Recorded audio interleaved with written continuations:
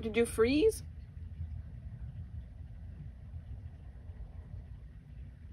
Did you, are you stuck? What's happening? Did you, you know you normally don't eat this time of day, so you're probably confused. I think she's ready for more.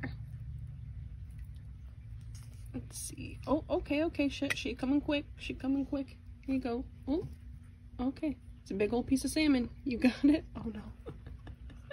Back to the hole.